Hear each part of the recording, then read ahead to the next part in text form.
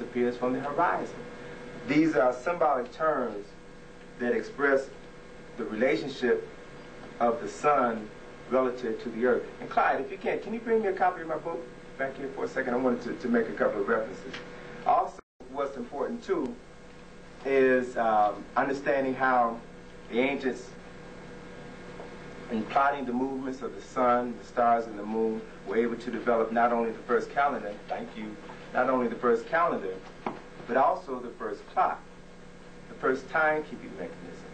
They, they, they devised the, the, the second, the minute, and the hour as a means of keeping track of this movement. And, and, as I stated on several occasions, the word hour is derived from the word Horus. Let me just read you a, a, a couple of things um, from, from my book in the chapter Paying Homage to the Sun about the significance of the sun. The sun is 93 million miles away, yet it exerts the most powerful force on the planet. It is the radiant day star which gazes down upon us from the heavens and is the giver of all life. It has been the oldest and most common object of worship in the history of mankind. It is the sun. All living things hunger for the light and the warmth of the sun that falls on us like a blanket of love. The first day of the week was named in honor of it. The second day of the week, Monday, means the day of the moon, which is illuminated by the sun. The lengthening of, of, the days and nights during the course of the year are the hallmarks of our four seasons. The spring and fall equinox signal a time of equal day and equal night on the planet. The summer and winter solstices represent the longest and shortest days of the year, respectively. For over 5,000 years, people have acknowledged the sun as a symbol of goodness, strength, and spiritual rebirth. The sun is the power behind the process of photosynthesis, the means by which plants grow, animals feed on the energy-enriched plants, and man uses both plants and animals for food, shelter, and clothing. The sun evaporates water from rivers, lakes, oceans, which form clouds, and water falls from these clouds as rain or snow. Clouds are visible bodies of fine droplets of water or particles of ice dispersed in the atmosphere which change the temperature and air pressure, thus influencing the weather on the earth below. After each rainstorm or snowstorm, the sun shines brightly to repeat the cycle and draw the water back up into the clouds. If the sun stopped shining, all life on the planet would cease as we know it. The air would freeze and the earth would become nothing more than an empty waste ball of rock drifting endlessly through space.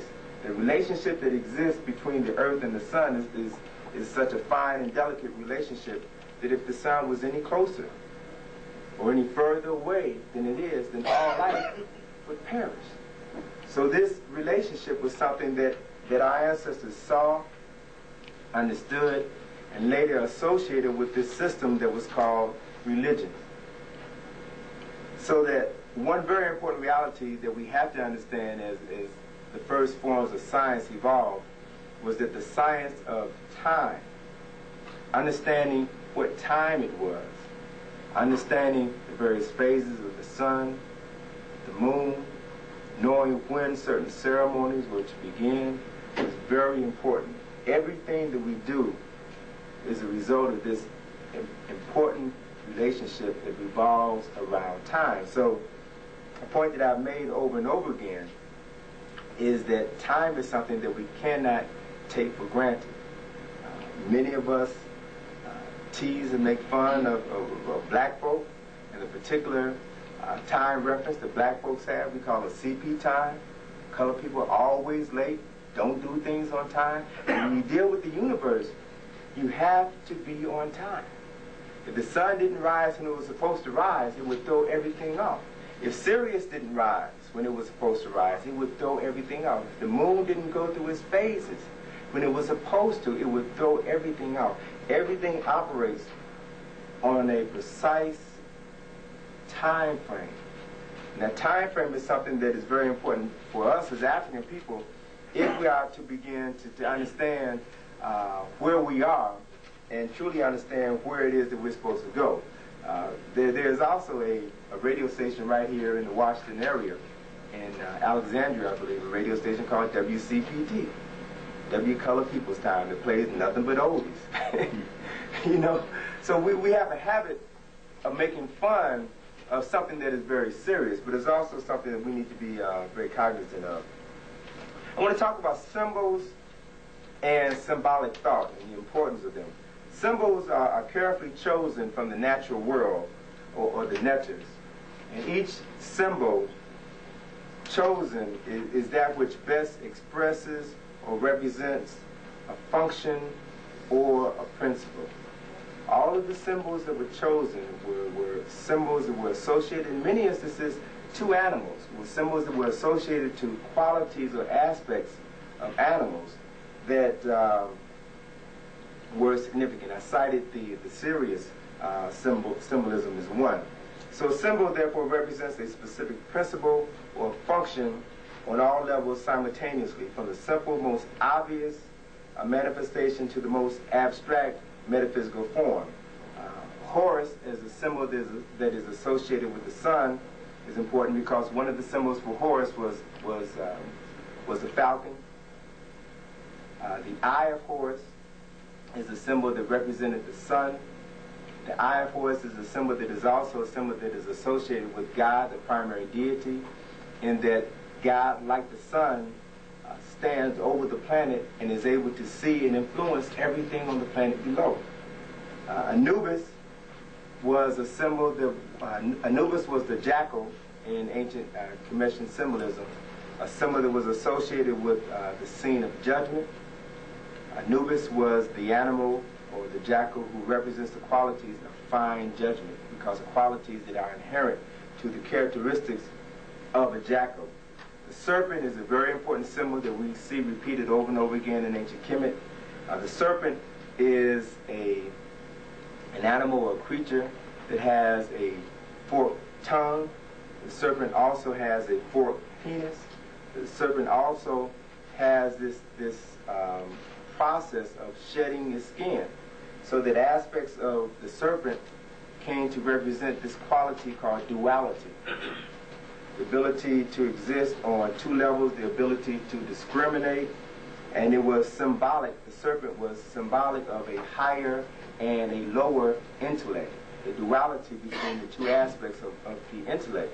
So it's interesting to see how the serpent has been represented in, in recent times, in modern times. The serpent is a symbol associated with something that is evil, as opposed to something that represents the duality of the human intellect.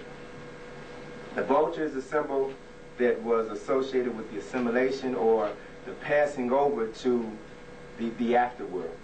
And if you've noticed on the the, sim, the, symbol of the crown of the pharaoh, you see the pharaoh uh, when he was alive would wear a crown that had the serpent on it. The serpent would reflect this, this intellect or the dual aspects of the intellect. And after that pharaoh died, on all representations of that pharaoh, they would show the crown, the pharaoh wearing the crown, the serpent on it, and also the vulture. The vulture was symbolic of assimilation. Those two symbols were only together, shown together after the pharaoh had died. And once again, it's interesting to see how uh, contemporary individuals misunderstand these symbols. Those of you who have ever seen the movie The Ten Commandments will notice in the movie Yul Brynner, who supposedly represents the pharaoh uh, Ramesses wears throughout the entire movie uh, the pharaonic crown that has the cobra and the vulture on it, a symbol that is associated with him. And that was primarily because they were taking the symbolism directly from the crown of King Tut. And they didn't understand what the symbols on that crown meant. So to have symbols and to not understand the essence behind the symbols means that the symbols don't have the power, they don't have the significance that they were supposed to have.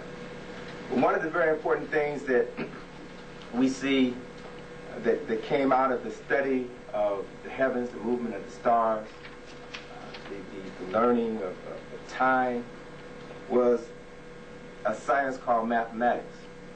And it's through mathematics that they began to, to be able to, to further plot other relationships. Most of what is known about Egyptian mathematics comes from a papyrus that was made in the Middle Kingdom called the